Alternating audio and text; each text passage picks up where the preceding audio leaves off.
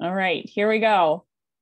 I feel like we should have a drum roll or some sound. Oh, this sermon. You guys get to hear me talk the whole time at the beginning. All right. Next time I do this, I'm going to add a, a sound effect to that spinning wheel. All right. Life is not set in stone. So I start this reflection without knowing what has come before and what will come after. I know that many might not realize, but I always leave the sermon writing as the last task when preparing a worship service. That way, I can pull in all of the other pieces and tie them into one service for you all. It often helps me to create a pathway leading towards where I believe the congregation needs to go. A conversation that needs to happen, or being introduced to a different way of seeing the world. Tying our religious values to commonplace everyday events and ideas. The words of our hymns often find their way into my sermon, and usually, much more obviously, the words of our centering piece is referred to as well. Though this may seem like the reiteration of words that might or might not mean very much to those listening, my intention with this practice is to spotlight the interdependence of our world. There are threads everywhere, weaving us all together. And so, whether you have heard these words already, because the sermon is near the end of our hour together, or if they have not yet been spoken, I believe that it will all come together in the end in a way that only coloring outside of the lines can create a previously unseen image. Life is not set in stone. We always have the opportunity to seek out different paths, to choose a new route to take. We need not stay in the same lane as we tra traverse the world. So often, as we set down a pathway, a choice made, a decision followed, we end up digging in our heels and choosing not to change route midway through. I've been through so many of these reroutes that sometimes I feel dizzy by my own life. And perhaps this is the life of a youngish adult. And things settle out a bit more as I manage to find stability in my career and home life. But I'd be willing to bet that everyone in this room has experienced the need to change directions at least once in the past year. I was married at the age of 21. I had been seeing Richard for two years when he proposed to me, and then a year and a half of engagement. At some point along that timeline, I knew that I wasn't happy in this relationship. I knew that things needed to change between us, or in him, or in me, in order for there to be a healthy relationship. But I continued to travel down the path that I was on, getting married young to my high school sweetheart. Well, I was in high school when we met. And we even talked about starting a family. Somewhere in the pit of myself, I knew that I was not happy with the decisions that I was making. I wasn't happy with the way our relationship was manifesting, and I wasn't happy with the person I had turned into. It took another 18 months of marriage for all of this unhappiness to become too heavy to carry. And the pain of changing became more acceptable than the pain of staying the same. 18 months after saying I do, I left my husband because I needed to change the path that I was traveling and I needed to rewrite my story. One that I had thought for a long time had been written into stone. Although it took me several months to come to terms with the fact that I was doing the right thing, that I was able to let go of the shame and hatred that I had had for myself in becoming a statistic, that I had joined the 50% of marriages that end. I was able to find freedom within that change within the change of that path as well. I was able to let myself go to spend time seeking joy and fulfillment outside of my partner. I was able to play in my life again. Sometimes verging from the path that we are on can lead to a state of enchantment, a liminal place that can be made sacred with our decisions.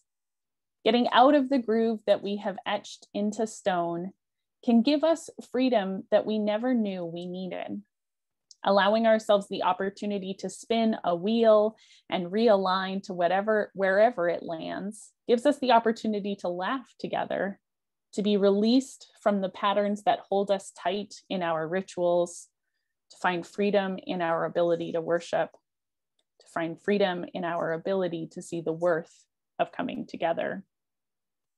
It has been a while since I have had the opportunity to witness a child play.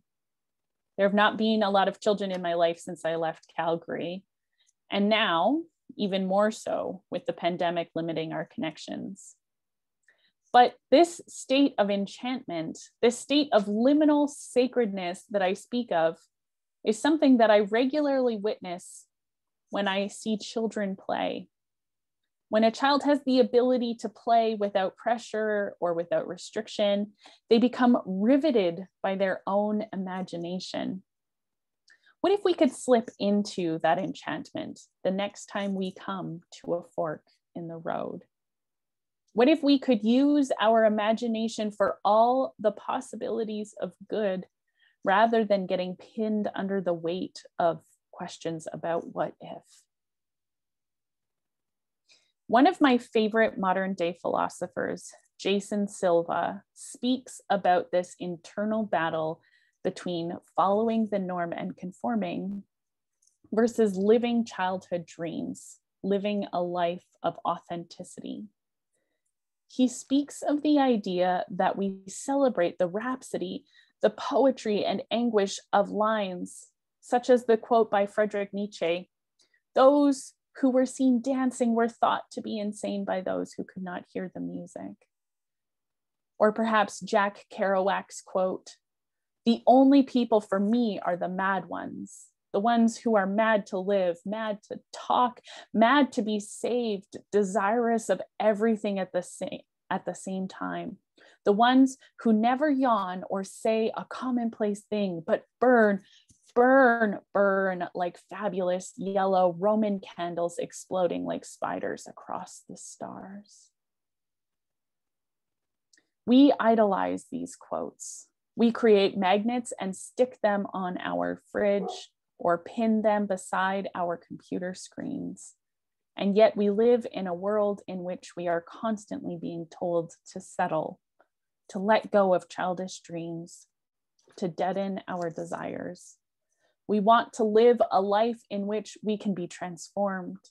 We want to live a life where we can become enlightened. And yet we are too scared to step out of our ruts.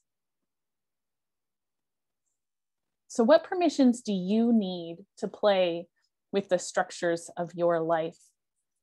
What permissions do you need to step out of the ruts off of the path or break open the stone that you have etched your life into and play with possibility.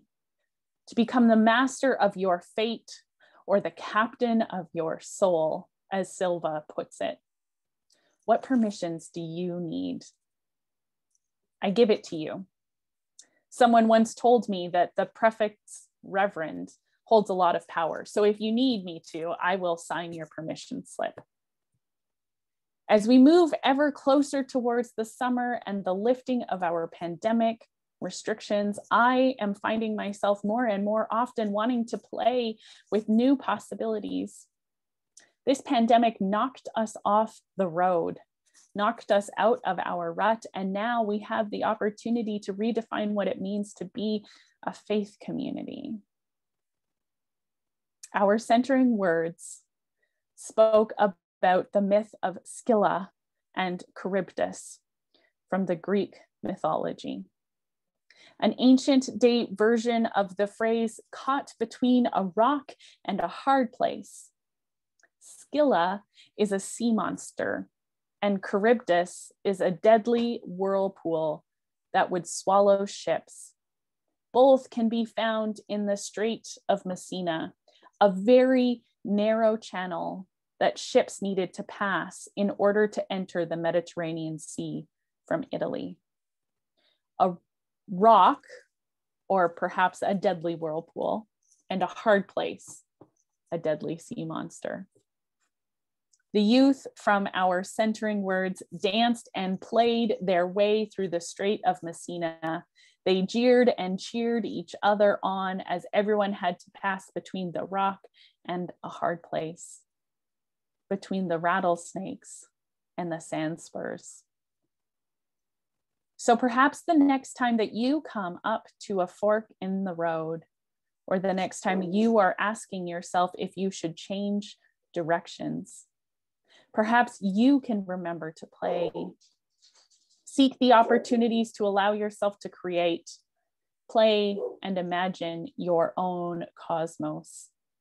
Allow yourself the opportunity to become wrapped with your own imagination and simply play. Thank you for listening.